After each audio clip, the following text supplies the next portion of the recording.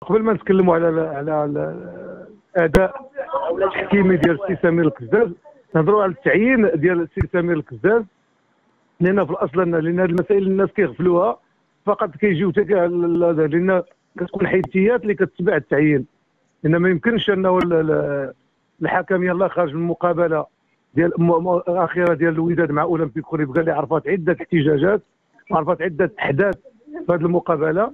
الشيء اللي خلى عندها تداعيات في, وسائل التواصل الاجتماعي في الاذاعات في التلفازة. ولكن مع ذلك أنه المديرية أنه ما استدعتش الحكم ما سمعتش الرأي ديالو والأداء التحكيمي ديالو في هذه المقابلة. هنا كطرحنا أكثر من علامة استفهام في هذه الانتقائية ديال التعامل مع الحكام سواء الحكام الشرعيين أو الحكام الدوليين. هذا المعطى الأول. المعطى الثاني ما يمكنش أنه حكم أنه معين المقابلة ديال يوم الخميس مقابلة مهمة ديال ديال طنجة. وما كنعرفوش الأداء ديالو كيفاش غادي يكون ما كنعرفوش ممكن يكون يتصاب أو لا توقع له شي حادثة وكيخرج في البروغرام ديال ديال اليوم الأحد أنه معين المقابله ديال القسم الوطني الثاني ديال نهضة الزمامرة مع مع مع رجاء بني ملال. هنايا كنشوفوا الناس المشرفين على القطاع التحكيمي كيفاش كينظروا للحكام وكيفاش كيدبروا التعيينات ديال ديال, ديال الحكام وكيفاش كيحاولوا أنهم يقدموا صورة جميلة على الأداء التحكيمي. فهنا هذه الحيثيات لأن ما يمكنش أن حكم كيطلع لطنجة وكيخمم ديجا مقابلة ديال القمة ديال القسم الوطني الثاني. فهنا كيكون عندها تأثير جانبي.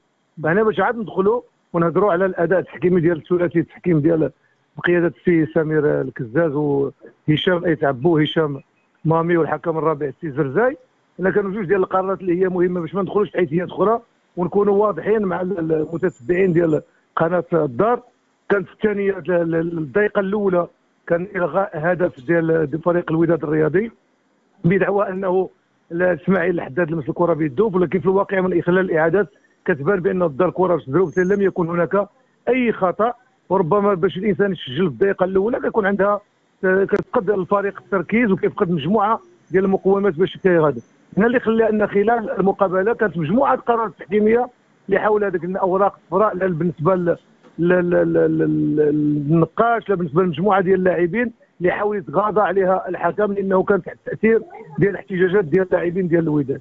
وكيتبان هنا واش كتجي القرار ديال ديال الخروج ديال التاكناوتي اللي اعترض الكرة ديالو باليد ديالو ديال النغمي اللي حاول يرفع عليه وجهها المرمى. هنا الحكم اكتفى بتوجيه البطاقة الصفراء في الوقت اللي أنه كان خصو يشهر البطاقة الحمراء لأن كثير فرصة سانحة للتسجيل عن طريق لمس الكرة باليد ومنعها من من الدخول في الشباك ديال المرمى المنافس.